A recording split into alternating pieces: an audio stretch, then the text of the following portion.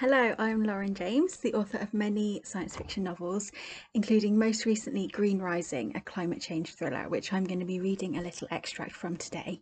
This is from the start of the novel, from the prologue, where we, we are introduced to our characters. There weren't many of them at first, just a few students standing outside the conference centre. Gabrielle lingered on the outskirts, trying not to give off the aura of someone skipping school. A girl in a pageant ribbon embossed with There is no planet B was painting blue and green spodges on people's cheeks. The protest had seemed like a good idea when Gabrielle had read about it online. A climate forum thread had suggested people protest outside the annual fuel summit taking place in the exhibition hall. The people who were contributing most to climate change were there, as the biggest energy companies in the world made deals to drill for more oil and open more power plants. But the crowd was just lingering around the car park, so none of the executives inside could even see them. It seemed such a waste after coming all this way. Gabrielle had to do something. She slipped away as a boy shouted into a megaphone, Hello, Climate Rebellion! Let me hear you repeat after me. Climate change is not a lie. Do not let our planet die. He draped a sheet over his shoulders like a cape, hand painted with the words Save Our Future in messy strokes. Heading around the rear of the building, Gabrielle hid her cardboard sign behind a overflowing waste bin. She tucked her school tie into her pocket so that her uniform looked vaguely like a business suit. Lingering around the staff entrance, she pretended to send a text. Faint shouts of no more coal, no more oil, keep our carbon in the soil drifted over from the car park. When a harried looking employee unlocked the door with their keycard, she slipped in after them. Head down, she moved along the corridor, adrenaline surging up her spine. As soon as she was alone in the network of corridors, she smashed a fire alarm with her elbow. A piercing alarm echoed down the empty hall. She followed the stream of staff out of the conference centre, where they joined up with the river of conference attendees. Hiding a grin, Gabrielle retrieved her sign from behind the bins and joined the group of protesters.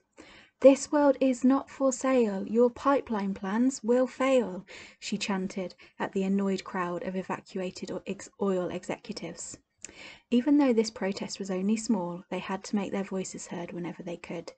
The climate emergency was huge, an impossible crisis almost beyond solving.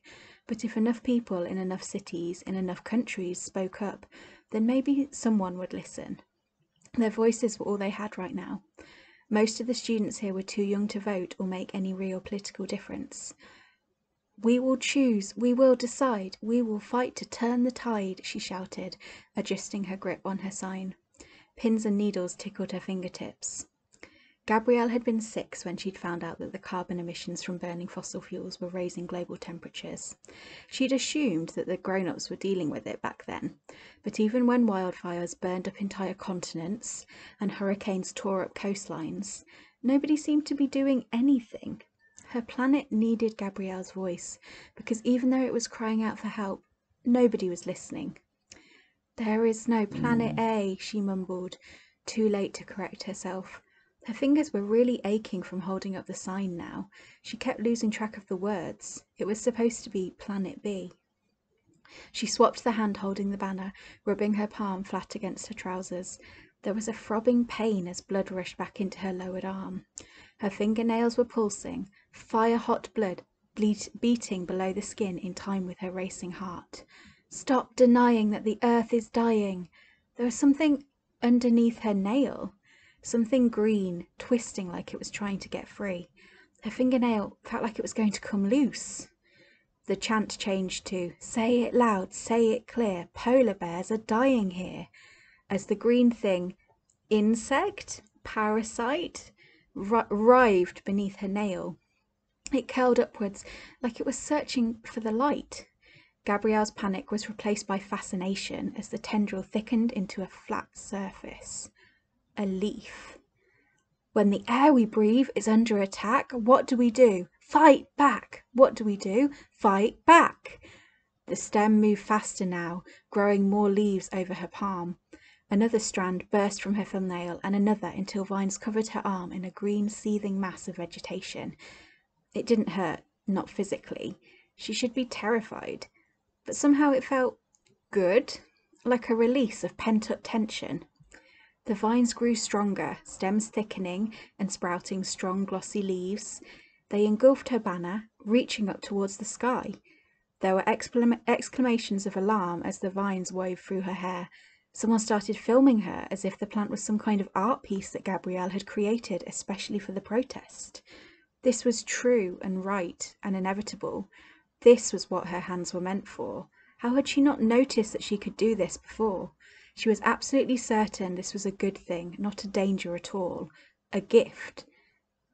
The other protesters, the other protesters circled her, shouting questions she couldn't answer. Even the fuel executives drifted closer to stare at her. Gabrielle swayed in the centre of the pulsating layer of green leaves, peacefully lost in a glowing haze of endorphins. Her sign remained valiantly upright under the weight of the plants. Its carefully painted message was still visible. It's time for a change. What you see is what you get, and you ain't seen nothing yet. She was calm. She was ready. The temperature was rising, but so were they.